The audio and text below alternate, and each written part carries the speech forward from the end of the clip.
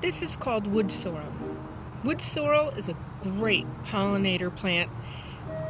Little little animals like it as well as the birds, like the bobwhite. The honeybees like it, but it's a super plant for native bees. The bumblebees in my area really love it and they crawl all over it.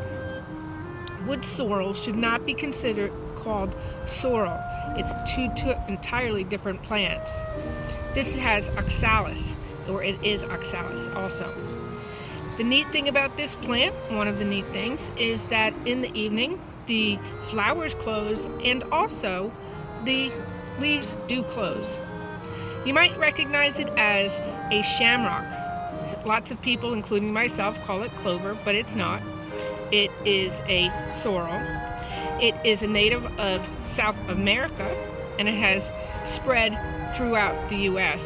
Here in my Mississippi, it is a fall and spring plant, and in the heat of summer where it's very dry and too hot, it will die back, but it's very hard to get rid of once it gets established.